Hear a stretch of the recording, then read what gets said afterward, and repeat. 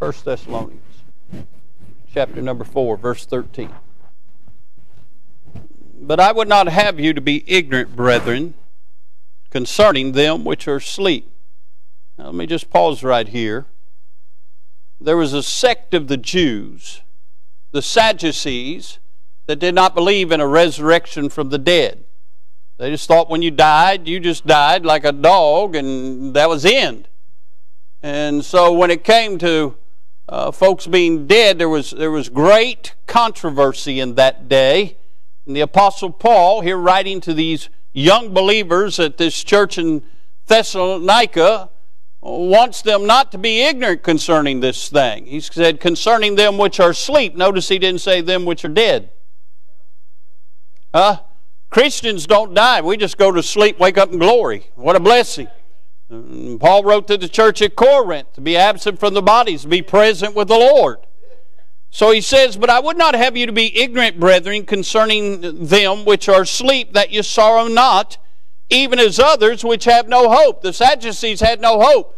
If a loved one passed away, they thought they'd never see him again, and most likely they wouldn't because they wouldn't be in Christ. Uh, but look what he goes on to say. For if we believe that Jesus died and rose again, even so them also which sleep in Jesus will God bring with him. For this we say unto you by the word of the Lord, that we which are alive and remain unto the coming of the Lord uh, shall not prevent them which are asleep. For the Lord himself shall descend from heaven with a shout, with the voice of the archangel, with the trump of God, uh, and the dead in Christ shall rise first. Uh, then we which are alive and remain shall be caught up together with them in the clouds uh, to meet the Lord in the air, and so shall we ever be with the Lord. Uh, wherefore, comfort one another uh, with these words. Let's pray. Father, we bless you.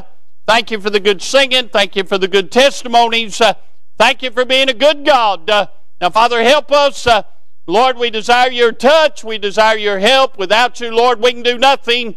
So, Father, just move in this service. Get glory to your name. Uh, help your people. We'll thank you for it. For it's in Jesus' wonderful name we do pray.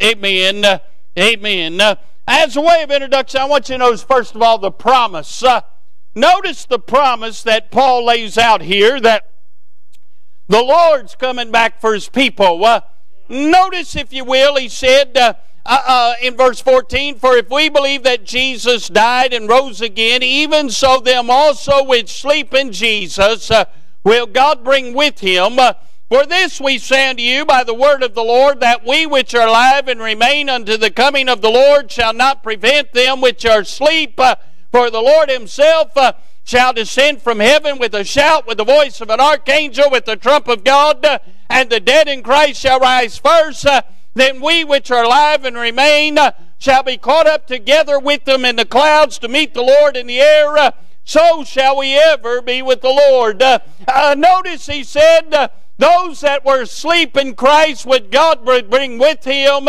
and the dead in Christ shall rise first then we which are alive and remain shall be caught up uh, uh, together to meet them uh, in the air, and so shall we ever be with the Lord. Uh, can I say something, uh, my dear friends?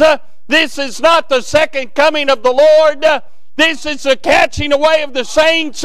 this is what is referred to as the rapture of the church. friend, this is the next great event in prophecy. Uh, friend, uh, uh, everything has been fulfilled. Uh, Gabriel could sound the trumpet tonight. Uh, the archangel could give the shout. Uh, and hey, graveyards will be emptied. and us that are alive and remain will be caught up to be with the Lord. what will happen, preacher? Those that are going on before us uh, that are in heaven uh, that died in Christ. Uh, the Lord's going to bring their soul. Uh, he's going to bring their body up out of the grave. Uh, and in a moment, in a twinkling of an eye, uh, that soul be reunited with that body and changed and given a glorified body like the Lord. Then we which are alive and remain, hallelujah, Hey, we'll come out of this old uh, uh, tabernacle of flesh. Uh, hey, we'll be given a body like the Lord, and we'll meet him in the air, and we'll be with the Lord forevermore. What a promise, huh? We're just about out of here. Nay, we get a body like his, there'll be no more suffering, no more sorrow, no more heartaches in these old bodies, uh, uh, uh, no more pains. Uh, as we'll have a body like the Lord. Uh, we see the promise. He's a coming. If you're saved, you're going. Uh, what a blessing. But I also want you to look in the text about the peril. Thank God for the promise, but there's also peril. Look in chapter 5. Look at verse number 1. We have a conjunction. That word but means the whole thought's about to change. We're shouting, getting ready to go out of here, and now all of a sudden there's a new thought. But of the times and the seasons, brethren, ye have no need that I write unto you, for yourselves know perfectly that the day of the Lord so cometh as a thief in the night. Hmm? When people don't expect it, that's when he's a coming. Can I say people in this world are looking for everything but Jesus? Could be he's on his way. Are you listening? Huh? But he goes on to say, For when they shall say peace and safety, then sudden destruction cometh upon them as travail upon a woman with child, uh, and they shall not escape. Boy, we've got a promise. Those without Christ are only they only have peril. They've only got problems. The times of Jacob's trouble will fall upon them. And my dear friends, uh, they'll be left to, to face anarchy and, and face uh, a world that we can't even conceive of. Mm-mm. And by the way, let me help you with this. Let me just say this right now. There was a series came out probably 10, 15 years ago called Left Behind. And in that first book, I never read it, but I've read enough about it to know what happens. Uh, a fella gets left behind, the rapture happens, uh, then all of a sudden he remembers all the preaching about the rapture. He goes to church and he ends up supposedly getting saved and getting ready uh, uh, for the next uh, uh, exodus out of here. No, no, no, no, no. In Second Thessalonians chapter number 2, we find that anybody's heard the gospel, rejected the gospel, the rapture happens, uh, the Lord will bring strong delusion on them where they'll believe a lie. There is no second chance for those that have heard the gospel. Mm. Can I say that even PureFlix right now, I know a lot of you like PureFlix. There's a lot of Bible, so-called Bible movies on there right now about the uh, uh, the rapture taking place, and all these folks waking up and realizing they need to get right uh, uh so they can go out of here after the tribulation. It's not going to happen. Hmm? Listen, you want to be ready for the rapture? Get ready now. Because after the rapture, it's too late. I have realized, I've studied the Bible. There'll be 144,000 Jews that come out of the tribulation get to go to heaven. Uh, Revelation chapter 7 tells us there'll be a great number that no man can number. But those people have not heard the gospel, not in this dispensation. And when the church is taken out of here, my dear friends, uh, God's going to make a way for those folks to trust in Christ. Say, how, how, what, what's he going to do? I don't know. I'm, and I'm not really too worried about it because I'm going to be gone. But throughout the Bible, God's always had a way where man could come to him. It's always been by God's grace. Noah found grace in the eyes of the Lord. God will make a way. You say, well, who's that great number? Can I help you with something? India has, I don't know how many millions of people over there that have never heard the gospel. China has billions that have never heard the gospel. Are you listening? There are people on this planet that have never heard the name of Jesus Christ. That's the crowd that's going to be given a chance to come to know Christ during the tribulation period. I want to tell you what crowd won't come to Christ. That's the crowd that's from America. We got a church on every corner. The gospel's been preached here forever 200 years. We've kicked God out of our schools. You think God's going to open up the windows of heaven for a crowd like that? No. He's going to usher them right to where they deserve to go hell. Mm-mm. They make a hero out of the, uh, the justice that just passed away, Ruth, uh, whatever her name was. Uh, make a make a hero out of her. She was she was for abortion. She was against God. And the moment she took her last breath, she went to hell, my dear friends. And the borders of hell are enlarged every day. It's nowhere in my notes, but that didn't cost anything. We see there's a promise for us. Then there's going to be peril for the crowd that's left here behind. But then notice that you and I are to be prepared. Look what it says, chapter 5 again. Look at verse 4. But ye, brethren, again, there's the conjunction, but the thought's changing from peril. But ye, brethren, are not in darkness. Hallelujah. Thanks be unto God. Mm, that that day should overtake you as a thief. Ye are all the children of light and the children of the day. We're not of the night nor of darkness. Therefore, let us not sleep as do others, but let us watch and be sober. He's saying, be prepared because he's a coming. I want to preach with God's help on this little thought. I want to preach on here he comes. Here he comes. Uh, I have no apology for the statement I'm about to make. Jesus is coming. Hmm? Mark her down, neighbor. He's a coming, uh, and he's coming a lot sooner than this world expects. Uh, and he's coming a lot sooner than most churches are looking for him to come. Uh, a matter of fact, if we knew how close it was, uh, we'd have had no fellowship for church. Uh, we'd all crawled in here on our face in this altar, uh, beg God to revive us, uh, beg God to save our lost loved ones, uh, beg God to move in this community in this day and age. friend, he's a coming, and we better get ready. hey, can I say, first of all, he's coming to gather his jewels. Uh, hey, he's not coming to build a kingdom. Uh, he's coming to gather up that crowd that's put their faith and trust in him. Uh, Malachi 3.17 says, uh, And they shall be mine, saith the Lord of hosts, uh, in that day when I make up my jewels, uh, and I will spare them as a man spareth his own son that serveth him. hey, yea, look around. The world sees a bunch of religious fanatics. Uh, uh, the world sees a bunch of goody two shoes. Uh, uh, the world sees a bunch of Jesus freaks. Uh, those crowd that goes to church three times a week, uh, they think we're off our rocker. Uh, hey, but when Jesus looks at us, uh, he sees diamonds, uh, he sees rubies, uh, he sees sapphires, he sees his jewels, and he says, they may think they're the offscouring of the world. Hey, but that's a royal priesthood, a chosen generation. Uh, hey, God looks at you in high favor. Uh, you ought to bless the Lord. You're one of His. Uh, he's coming to gather up His jewels and take us home. Uh, can I say this? he's a coming in glory. he's not coming as a babe in a manger.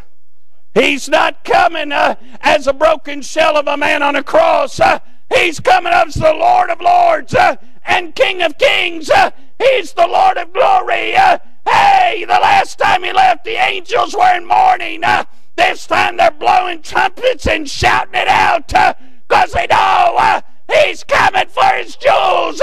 he's coming for glory.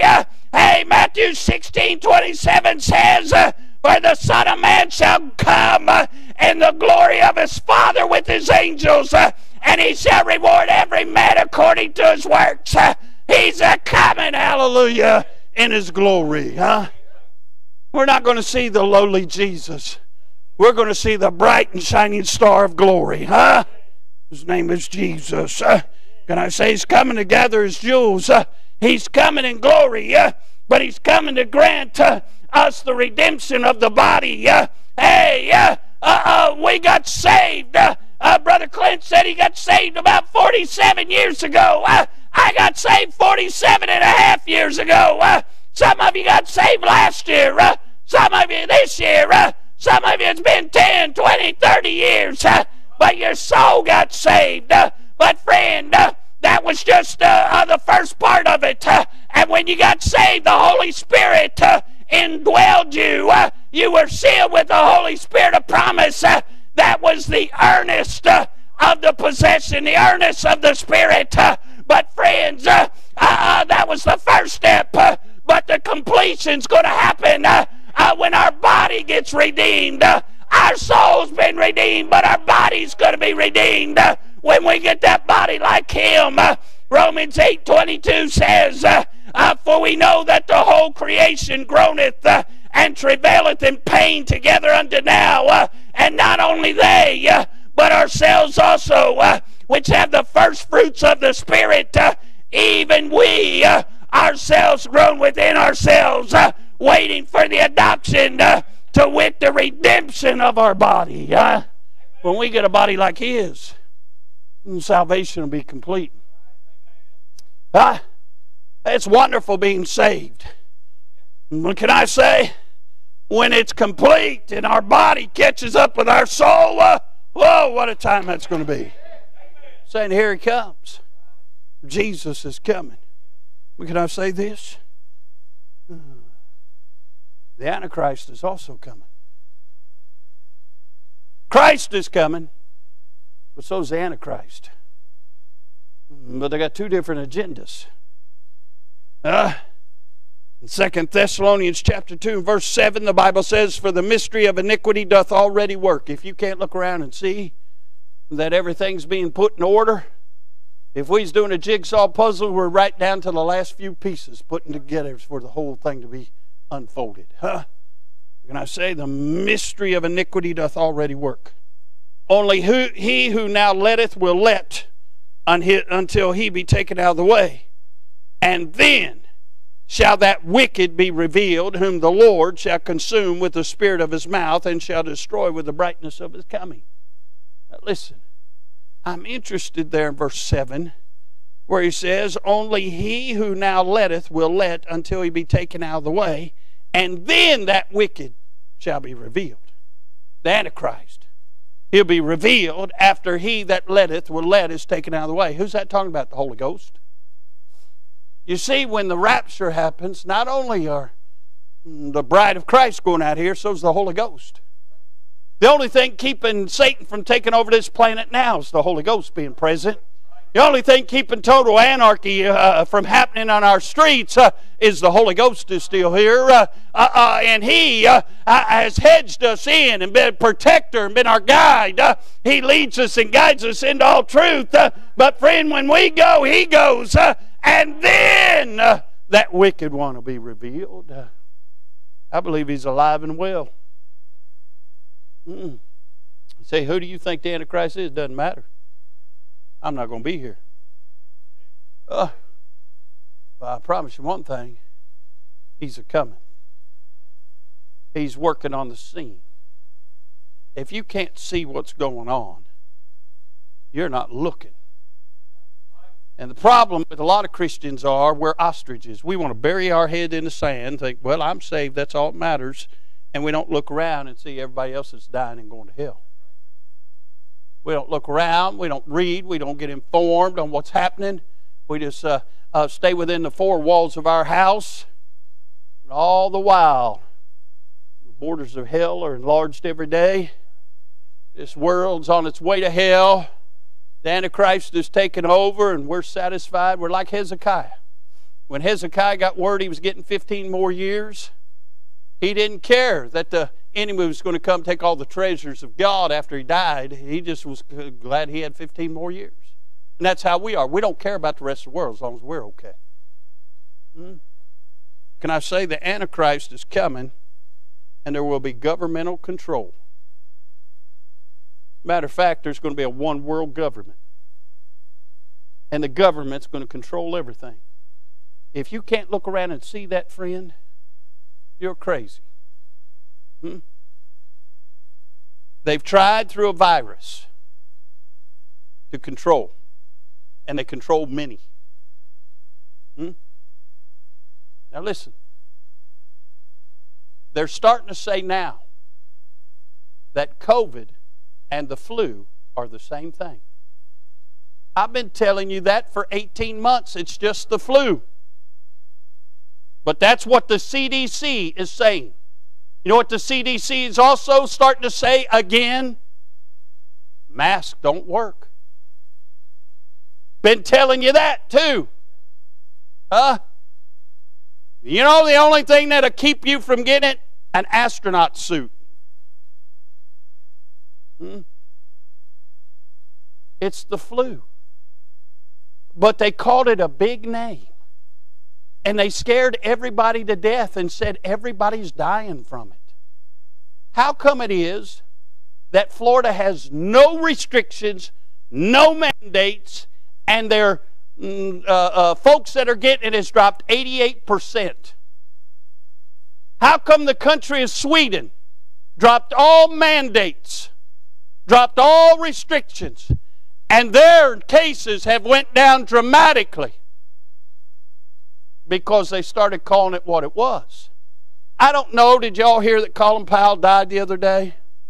84 years old. I know he was a great soldier, wasn't a great Secretary of State, but was a great soldier. But can I say this about him? By the way, most military men are not great in politics because they're used to receiving orders instead of giving orders. Okay? But can I say this? He died, and all I heard, he died from complications of COVID. Till they found out he was fully vaccinated. And then all of a sudden he had a blood cancer. Let me help you some. Everybody in their 80s is going to die. Mm. Just trying to help you. They're trying to control. Have you watched what happened in Australia? In Australia, everybody had to get vaccinated. Listen, I'm not against vaccines. I've had the shingles vaccine. I've had mumps vaccine. I've had measles vaccine. I'm not anti vaccine. I'm anti them mandating we have to be vaccinated. This is still America. How come a woman can have uh, her right to her body when it comes to abortion, but you can't have your right to your body when it comes to the vaccine? Hmm? I'm anti mandate. In Australia, they were taking the children out of the parents' arms and jabbing them, children, with the vaccine. By the way, when the vaccine comes to the doctor, there, you, you know, there's no ingredients, what's in it, and there's no side effects listed. Have y'all watched TV? Have y'all seen all the medicine commercials? And they'll tell you how it's going to make your skin clear up, or they're going to, it's going to make your blood pressure go down, or it's going to help you. Then they give the side effects. You're going to have anal seepage. You're going to have migraines. You're going to have parts falling off of you. Uh, let me have the bad skin before I get all that stuff. They tell you all the side effects. You know what they don't tell you side effects? The vaccine. Hmm. You can't buy a bag of potato chips without knowing what's in it. They got to give you all the ingredients to the potato chips. I just thought they were potatoes. But no, they got all kinds of stuff in there. But you can get jabbed with a vaccine and they won't tell you what's in it. Hmm? There's been enough evidence of how it's affects certain people. Some young people are getting enlarged hearts. Other people are getting blood clots. Other people are having very uh, uh, other problems, and even some are dying. They don't give you those statistics. For a vaccine to hit the market, Normally it's studied four or five years so they can see all the side effects, and then they uh, see if it's good enough for the mass public. But they're mandated. And here's another thing a recent Harvard study, by the way, Harvard, I was just up in Boston three weeks ago. And when we was up in Boston, Harvard had 100% faculty and 97% of students were vaccinated. And they had to shut the college down because of an outbreak of COVID they couldn't control. It's a wonderful vaccine. Uh, Harvard did a study, and of all the new cases, 70% of the folks getting COVID were vaccinated. If it's a wonderful vaccine, how come you're still getting sick? And here's another thing.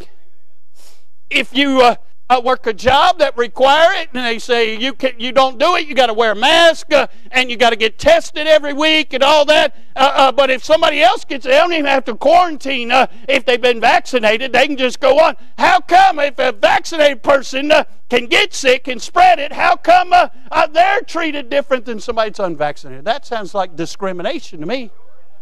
And I believe the Civil Rights Act of 1969 had a whole lot to say about discrimination. Hmm? What they need is me to be an attorney against all this junk. what they need. And I'm just a dumb hillbilly, but I can read. Mm-mm. I'm trying to tell you, it's all about control. It's not about sickness. Mm. Matter of fact, they know every year somewhere between 600,000 and a million people are going to die from heart disease. Every year. We don't really know the number of COVID deaths because anybody that died, like Colin Powell with a blood cancer, but uh, they said he had a runny nose, so they called it a COVID death.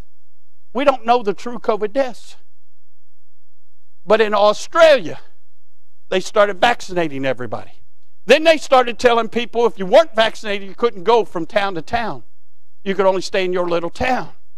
And then they started making everybody show their papers in order to travel. Maybe you don't remember or you never read about it, but in Nazi Germany, you couldn't go places unless you had papers.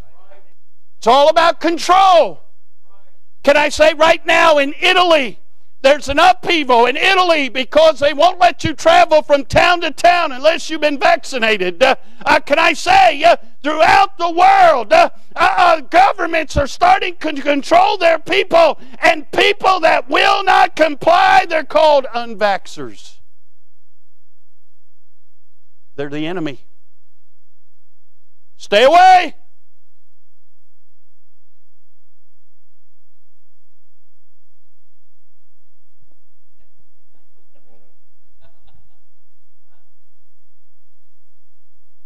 About control.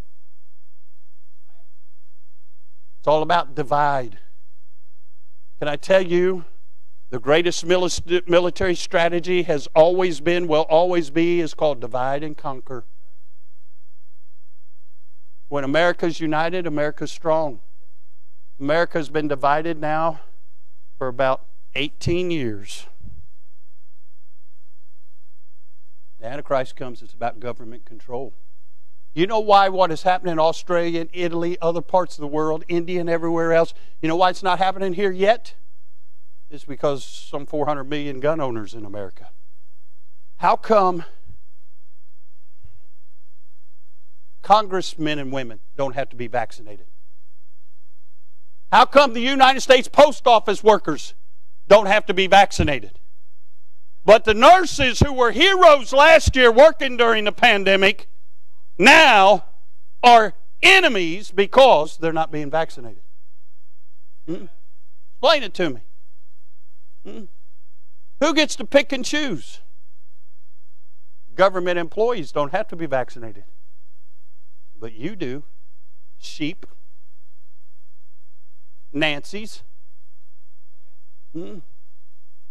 Uh, there has been so much debunked by what Fauci has said in the last two months that if you do anything he says, you're an idiot. Mm. It's absolutely crazy. Antichrist is coming. It's going to be animal. Uh, there's going to be government control. There's going to be global concession. All the nations are going to concede. Now, explain this to me. Postal workers don't have to get vaccinated. Congressmen don't have to get vaccinated the 600,000 illegal immigrants crossing our southern border every month don't have to be vaccinated?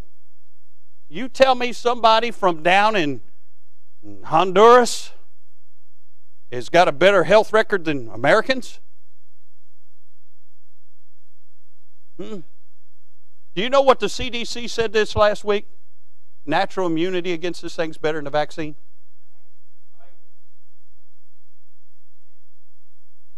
We're talking about all the illegals don't have to be vaccinated.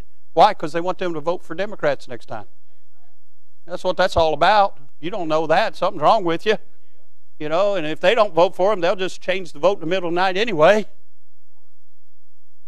But listen, we're talking about global secession. This is what I don't understand. We got the southern border crossing crisis. Crisis. Who's going to feed all this crowd? Have you seen the grocery store shelves? Hmm. I read this this past week. You know why truck drivers are not going into California? Even if the ships land in port in California and bring all the junk from China that we now have to have to fill up Walmart so we can have Christmas? Uh, you know why truck drivers are not going there? Because the wonderful state of California and their liberal governor who hates oil and water and everything else put into law that truck drivers are not allowed into the state if their truck is older than three years. And by a certain date out there in the not too distant future, they have to have electric semi trucks. Now, I don't know about you. I'm not a truck driver. I've known some truck drivers, have relatives who are truck drivers, but them rigs cost anywhere from two hundred fifty to five hundred thousand dollars. Hmm? It takes more than three years to pay one of them boogers off. One truck driver said this past week that his diesel fuel increase cost since Biden has been president, the cost of his diesel fuel is more than his truck payment. Hmm? Kroger's can't get groceries. Can I say, if they can't control you by a virus, you know what they'll control you by? Food. When people don't have food, they'll do whatever the government says. But we've got the crisis in California about the ships that can't uh, come to port and get rid of all the stuff that we need. Uh, uh, uh we got trucker crisis. We got southern border crisis. Uh, we got where's Joe in the White House crisis. Uh, I mean, they even come up and they build a stage that looks like the Oval Office where he shows up at because he don't go to the actual Oval Office because it's five more steps and he can't make it. I mean, who knows? but listen, we got all these crises. And two days ago, they sent a contingent of our congressmen, including, if you want to call her the vice president, I won't tell you what I call her, uh, to a summit on global climate change.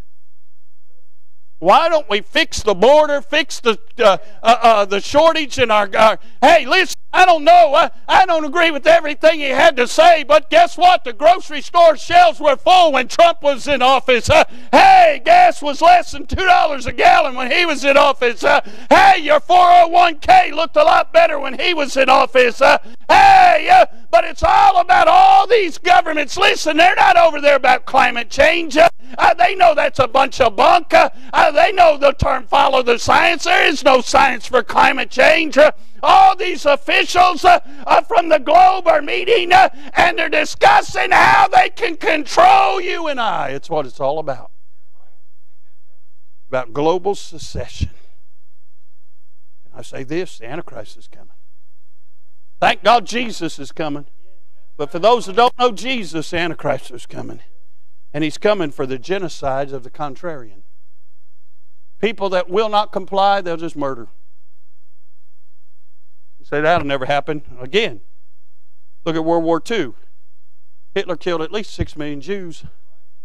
Uh, that's not talking about people that were born with handicaps. He killed them too. Mm.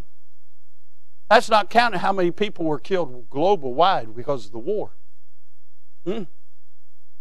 Listen, they'll kill anybody that stands in their way under the Antichrist. And by the way, we can go and show you in the book of Revelation where they're hunting down Israel again. She has to flee to the wilderness because they're hunting her down to kill her. That's what the Antichrist is coming to do. Purge anybody that don't receive the mark of the beast. Those that will be redeemed through the great tribulation period will have to be willing to die for it, friend. They'll have to become martyrs. And I want to tell you something. I don't know why in Burlington, Kentucky, they built a, a, a National Guard Readiness Center, but there's one there. I don't know why there's a concentration camp two hours up the road on I 74, but there's one there. Can I say, uh, uh, in my travels everywhere I go, I'm seeing these National Guard readiness centers uh, popped up everywhere. I was driving to church yesterday. Can I help you with something? I saw a Black Hawk helicopter flying uh, uh, uh over our airspace on the way to church yesterday. Why do we need Black Hawk helicopters in Burlington, Kentucky, in Florence, Kentucky? There's not a threat here. why is it? Why is it they're getting ready for something? What's it, what are they getting ready for? The Antichrist. He's coming coming. Yeah, Jesus is coming. Hallelujah. The Antichrist is coming. Woe to them that don't know Christ. But, friend, even before the Antichrist comes, I got news for you the devil's coming. The devil's coming. Oh, yes, he is. 1 Peter 5 8 in the Bible for a reason. Be sober, be vigilant, because your adversary, the devil, is a roaring lion, walketh about seeking whom he may devour. He's coming. And he's come to destroy you and your family. Because he don't want you to be a light to somebody else that the Antichrist can't get a hold of. Hmm? And I say, he's coming. He's coming to make you inactive by being active. The devil knows most of you have been around preaching long enough, you read your Bible enough, you pray. He knows he can't get you caught up in heinous, wicked sin. So, he pats you on the back, tell you you're doing a good job. And he makes you inactive in the things of God by being active in other things. I've never seen a time where you can't have revival meeting, you can't have anything else because everybody's got plans. Used to, everybody made their plans around the church. Used to, everybody want to know when revival meeting was uh, because used to revival meeting would go two, three, four, five weeks. We can't even get one to go a whole week uh, uh, because preacher, uh, we can't because we got PTA, we got ball practice, uh, and we got this event. We got to go to this show, we got to go to this uh, thing that's going on. And preacher, you know, I just need a break. It's kind of tough. I've had it really rough. I need a break. no, what we need is get right with God. we need Jesus. we need revival.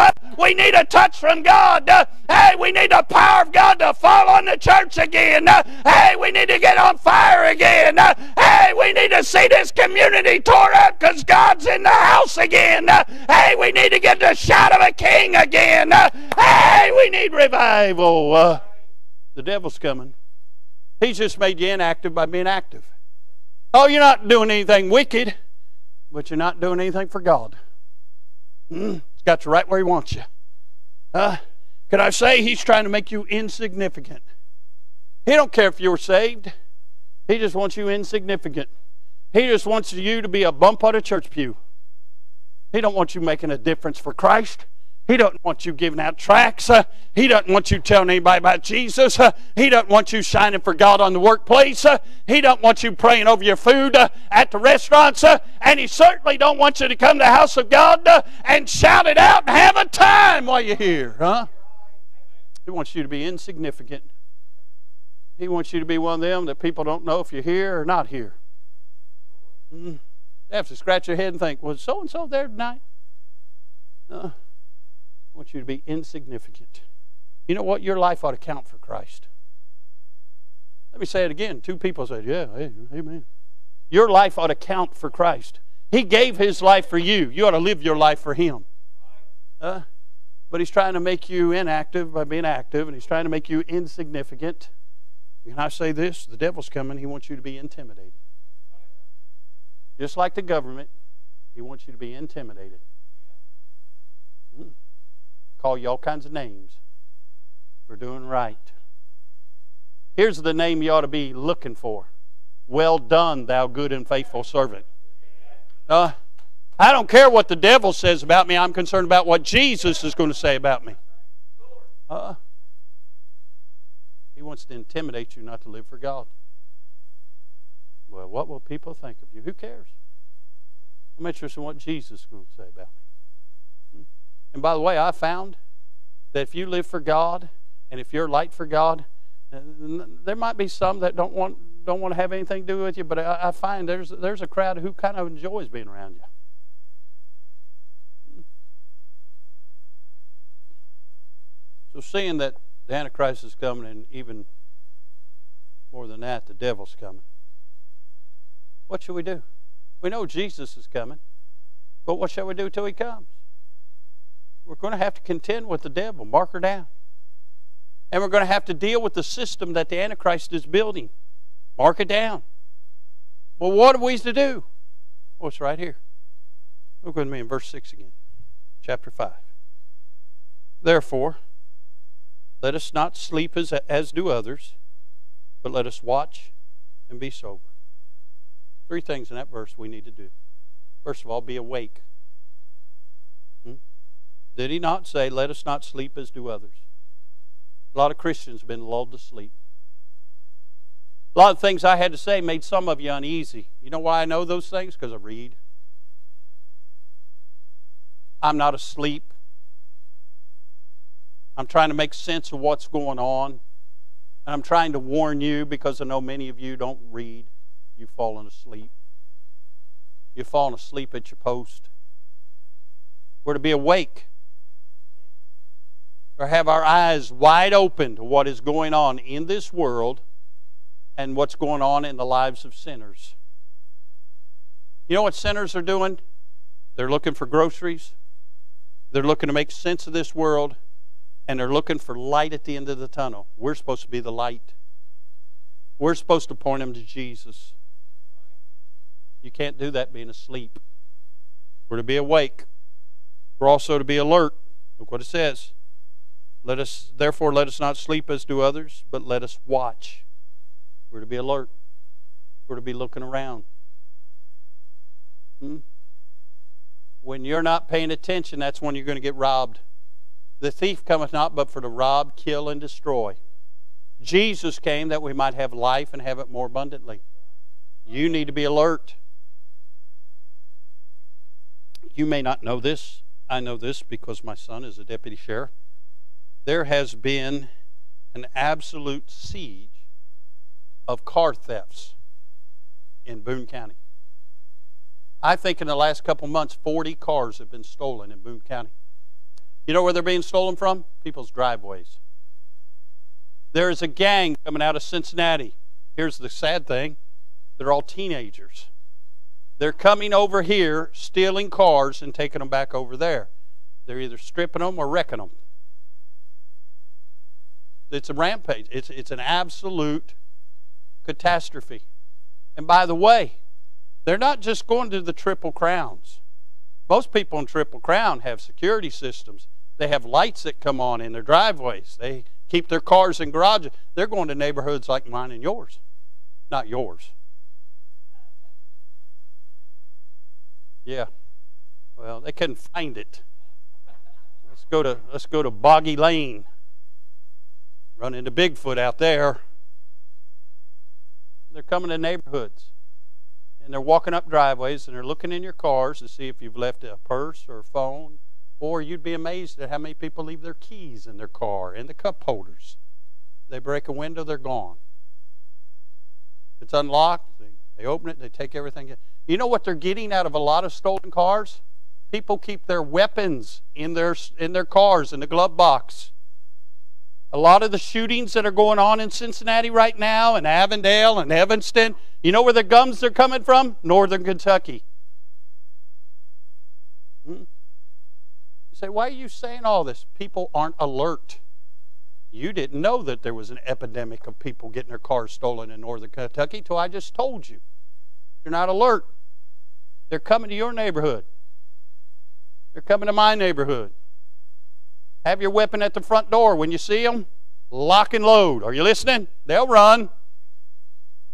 One of the doctors Miss Annette used to work for had some friends over. They're in the backyard around the swimming pool. They walked up in the driveway, took the guy's car out of the driveway. Alexis is gone for a month. They found it destroyed. Hmm? I'm telling you, they're coming into your neighborhoods. You need to be alert. Well, if they're coming after your cars, I got good news for you. The devil's coming after you. You need to be alert. Hmm? Look around. Know your surroundings. Hmm? I preached that message not too long ago about the crows. Watch out for the crows. Not everybody says they're saved really saved. The devil sows in weeds among the uh, tares among the wheat. Are you listening? He put some people in your life to bring you down. You need to be aware. Watch. Be alert. Not only that, you need to be awake, alert, and aware. Be sober. What it says. But let us watch and be sober. That's the same term we used in 1 Peter 5 8. Be sober. Why? The devil. You need to be aware. Pay attention. Read, know what's going on in your world. Don't take the news media their word for it. All they do is read the talking points that somebody from the Antichrist's realm has give them. You know how I know that? It don't matter if you watch Fox, CNN, local news, they all say the same thing, same headlines. There's no longer any reporters. There's people that read what's put on the, on the, the screen in front of them while they're in front of the camera. You need to be aware. Don't be caught off guard. Because Jesus is coming. You ought to be looking for him. You ought to keep your eyes on the sky. Then look around. Look back to the sky. Look around. He's coming. But in the meantime, the devil is unleashing everything to destroy lives. You realize in World War II, the only reason that the world isn't flying swastikas today is because some 18, 19 year old men from America went over there and made a difference, and we won the war. Can I say? The only thing keeping this world from being in total anarchy, and the only thing standing between between hell and most people you come in contact with is you, God's people. We want to do everything we can to live for Jesus, tell them about Jesus, promote Jesus. But we need to be awake, alert, and aware because Jesus is coming. And after he comes, the Antichrist is coming. In the meantime, the devil's coming. Hmm? And listen, there's nobody in this building really dealt with the devil. We just deal with his imps. But when he shows up, you better be full of God. I wonder if Jesus came tonight, are you ready to meet him? Because he could come tonight. If Jesus came tonight, how many of your friends and loved ones wouldn't go? You might be the only person standing in their way of hell. Are they using you as a stumbling block to get to Jesus, or are you going to be a stumbling block to kick them over into hell? They can either be a stepping stone or a stumbling block, friend. What are you? If you're not ready for Jesus to come, I guarantee you, those around you aren't ready for him. Hmm. And until Jesus come, are you ready for what the devil's going to throw at you? See, that comes to building yourself up on your most holy faith. How much faith you got, friend? How much God you got in your life? When the devil shows up, that's all that's going to help you. Is the Lord in your faith? I wonder. Here he comes. Are you ready? Let's all stand. Brother Clint, come get a song of invitation.